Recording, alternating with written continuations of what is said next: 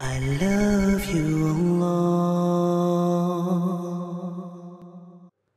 And so finally, I share with you something so beautiful about the word ilah.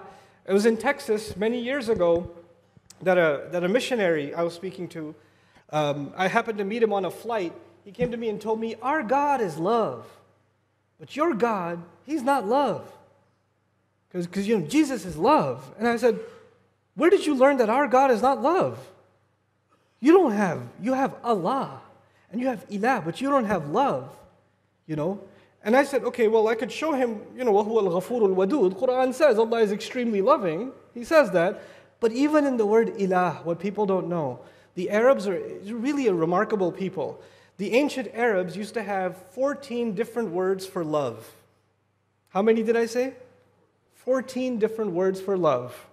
And so for each one of them, they had a description. The last one, number 14, is when love kills you. Number 14 is the kind of love that you just, just ah, I'm just dead. Okay? The love that kills.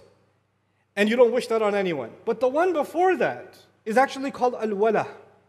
And al-wala is a kind of love, they describe it, يعبر عن غياب السعادة بغياب المحبوب.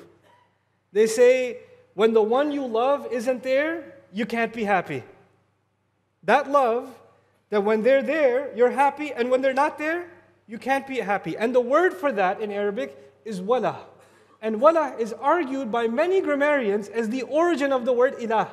From wilah, it actually becomes muqallab, the, the, the waw became alif and became ilah. In other words, there is no genuine love and there's no real happiness in life that a human being can find with Allah absent from their heart. Happiness cannot exist. Joy cannot exist.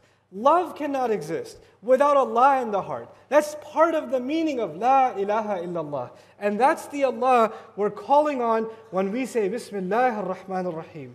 How often we, we think of Allah as the one who punishes and the one who's going to get you. I mean, we teach kids that. It's so scary.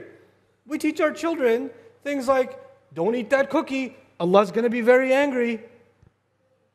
And I can guarantee you, if that child died, Allah will not be angry and not ask him about a cookie. I can guarantee you. Allah, you're angry.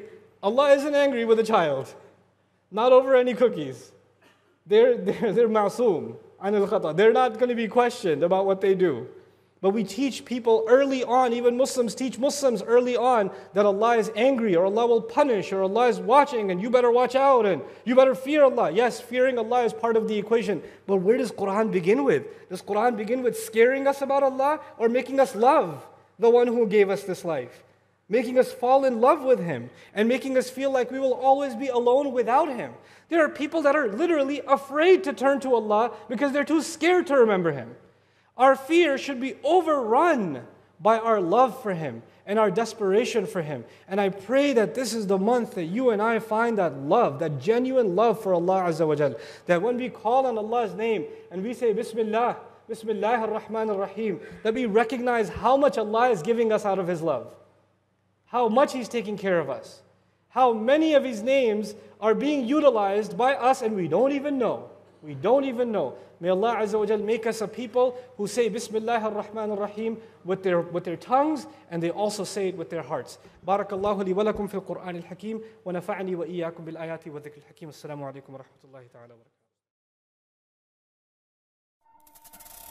barakatuh.